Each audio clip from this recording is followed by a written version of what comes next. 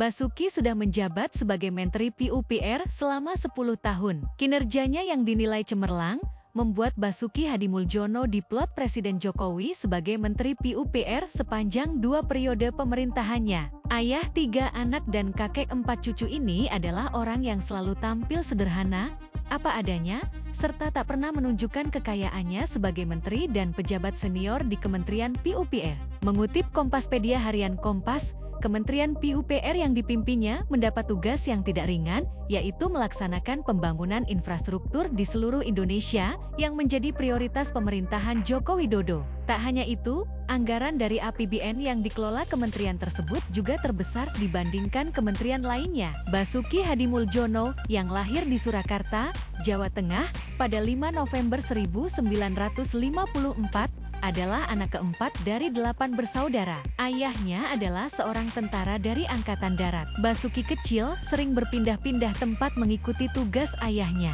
Pada 1963, 1968, sang ayah bertugas di Palembang, Sumatera Selatan. Dan Basuki kecil pun menempuh pendidikan di sekolah dasar, SD, dan sekolah menengah pertama, SMP, di kota tersebut. Sebelum tamat SMP di Palembang, sang ayah pindah ke Irian Jaya, atau kini Papua. Basuki Hadimuljono pun berpindah sekolah lagi mengikuti tugas ayahnya di ujung timur Indonesia. Jenjang pendidikan SMP dan SMA dijalaninya di kota tersebut, dan ia harus beradaptasi dengan teman serta lingkungan barunya di Papua. Sebelum lulus sekolah menengah atas, SMA, Basuki Hadimuljono remaja harus pindah ke Surabaya. Ia melanjutkan sekolah di SMA Negeri 5 Surabaya. Di sekolah favorit di kota pahlawan tersebut, kualitas intelektualnya terasa dan berkembang. Pada usia 30-an, Basuki Hadimuljono mendapat kesempatan belajar di Amerika Serikat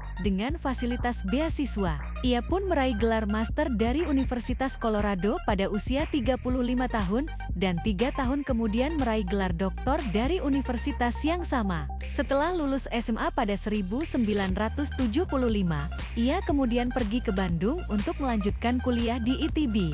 Namun keinginannya itu kandas lantaran kampus impiannya tersebut tidak menerima dirinya. Kemudian, ia pergi ke Yogyakarta untuk melanjutkan kuliah di Universitas Gajah Mada, UGM. Setelah lulus dari UGM, Basuki Hadimuljono diterima sebagai pegawai negeri sipil di Kementerian Pekerjaan Umum. Awal karirnya di kementerian tersebut, ia mengerjakan sejumlah proyek infrastruktur di berbagai daerah di Jawa dan luar Jawa. Proyek pertama yang ditangani adalah proyek pengembangan air tanah Jawa Tengah selama tiga tahun sejak 1981 hingga 1984.